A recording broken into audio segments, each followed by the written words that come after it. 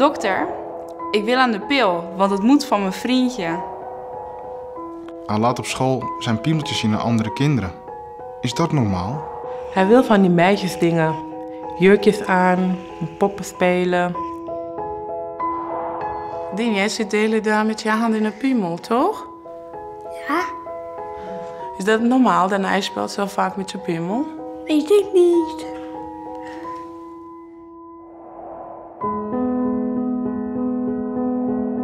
Ik ben Marlies Kuit, ik ben arts. Ik ben eh, jeugdarts hier bij de GGD in Amsterdam.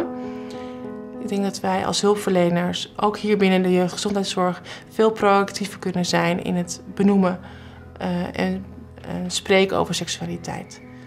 Ik denk dat je daardoor kan voorkomen dat kinderen, jongeren, ouders vastlopen.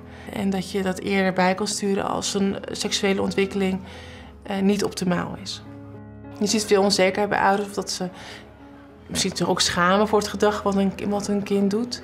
Dat ze aan een geslachtsdeel zitten, dat je niet weet hoe je daar als ouder mee om moet gaan. Eh, dat ze aan een piemeltje zitten of dat een meisje loopt, loopt eh, te rijden op een stoel. Uh, ouderwetse doktertjes spelen, dat ze aan elkaar zitten. Hoe ga je als ouder om met je eigen seksualiteit, met je eigen bloot zijn in, in het bijzijn van kinderen? Door ze uit te leggen dat heel veel zaken heel normaal zijn en dat het bij de ontwikkeling van een kind hoort, maar dat je als ouders best daar je uh, op kan, uh, kan begrenzen en uh, ook vanuit je eigen normen en waarden die, die je als ouder hebt. Ik werk veel met jongeren, 12 jaar en ouder. Wat ik merk is dat heel veel jongeren met normaliteitsvragen zitten. Van, is het normaal dat, dit, dat ik zo ben, dat ik me zo voel? Je kan denken aan een meisje wat verliefd wordt op haar beste vriendin en dan meteen denkt ik ben lesbisch. En is dat zo? En het is goed om daarover na te denken, om het daar met haar over te hebben, om haar daar ook wat tips en adviezen over te geven. Er zijn hele goede websites tegenwoordig over. Om in ieder geval een gesprek met het meisje daarover aan te gaan.